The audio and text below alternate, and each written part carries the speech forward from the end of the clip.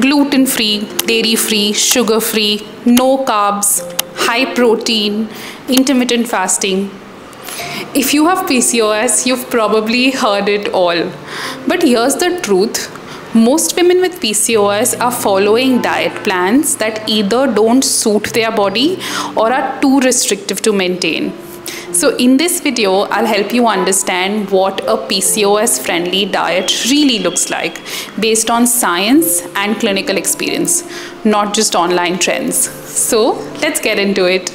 Welcome back to my PCOS series where I help you cut through the confusion and take clear and informed steps towards healing your hormones naturally.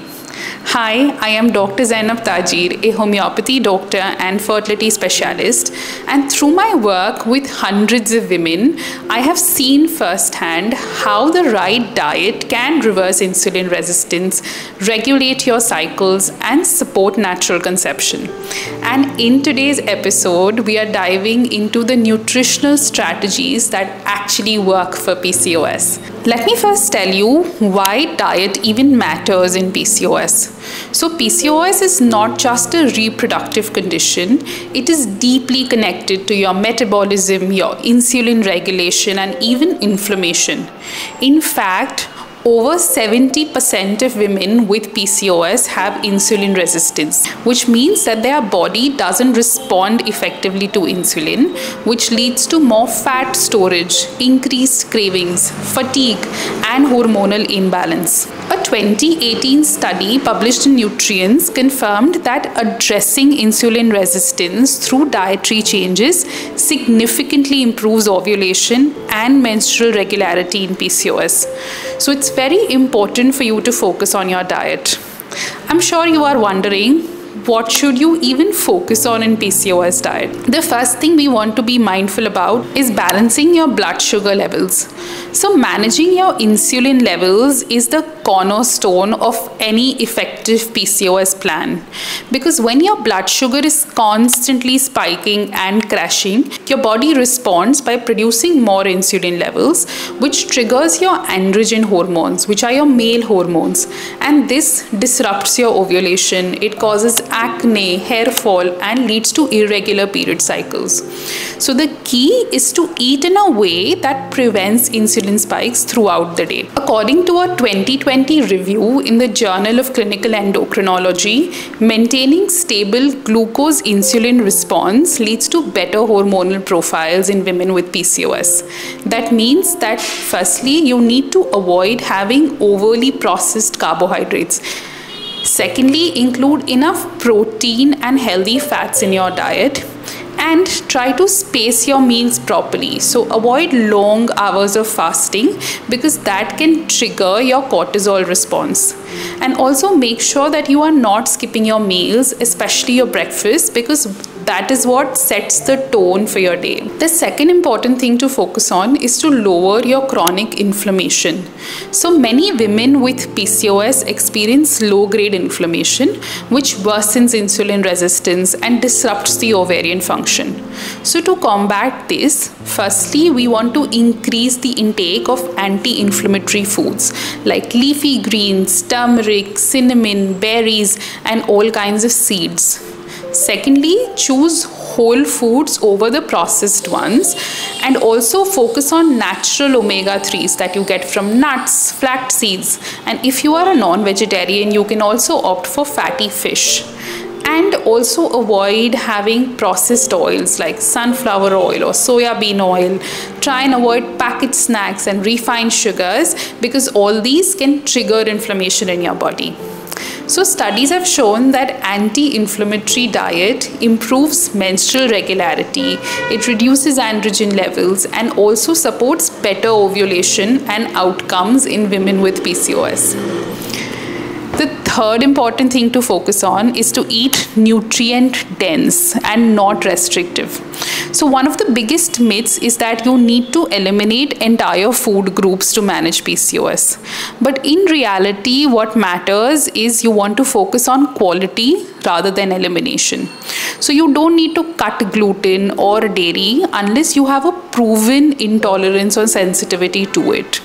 In fact, moderate amounts of fermented dairy like curd or paneer can actually support your gut health and hormonal balance.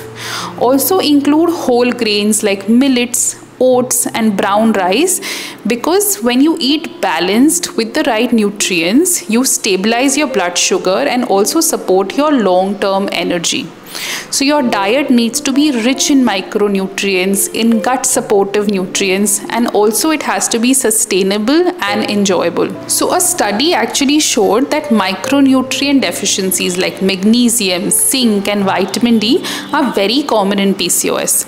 And replenishing those nutrients can improve the outcome across the board from ovulation to mood regulation. So it's definitely something that you need to consider. Then the fourth important thing is to focus on introducing the key nutrients. So let's look at some of the most essential nutrients for PCOS. The first one is vitamin D because it supports insulin sensitivity and mood and deficiency is also very common in women with PCOS. The second is magnesium because it helps with blood sugar control, PMS, anxiety, etc. The third is zinc because it's crucial for your hair health and immunity and hormonal balance. Then you also want to make sure you are having enough of B vitamins because they help with hormonal detox. And let's not forget myo-inositol because it's a powerful insulin sensitizer and it is one of the most proven ways in which you can manage your PCOS naturally.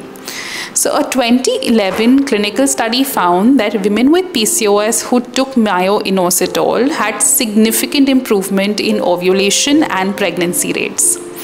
So, if you are not sure whether you are getting enough of these nutrients or if your diet is correct, I would love to help. To book a session with me, you can click the link in the description below. Now, let's talk about the common mistakes that I want you to avoid. Firstly, no crash dieting or eating too little because that actually slows down your metabolism and worsens your hormonal imbalance. Second, try avoiding skipping your meals or going long hours between your meals because again, that's not very good for you then also try to avoid over restricting carbs because your thyroid and your hormones still need carbohydrate intake for their regular functioning and avoid following any generic weight loss advice because that doesn't necessarily work for your hormones so now you understand why your food choices play a direct role in how you feel, how your period cycles are, and also how your hormones behave. So, if you are done with fad diets and need a more sustainable, science backed approach to nutrition, this is your starting point. So, make sure that you subscribe and you tap the notification bell and in the next episode, we'll cover exercises for PCOS and we'll talk about which exercises help and which are the ones you should be avoiding. So comment below and tell me which is one nutrition myth that you've believed in before you watched this video. And also if you want personalized guidance for your PCOS diet or to help with managing your PCOS naturally, I will leave the appointment details in the description below. So, hi, I am Dr. Zainab Tajir, and you are watching the PCOS series where we are turning the hormone confusion into clarity and confidence. And always remember, your plate can be the most powerful tool for your healing. So, let's use it wisely. I will see you in the next episode.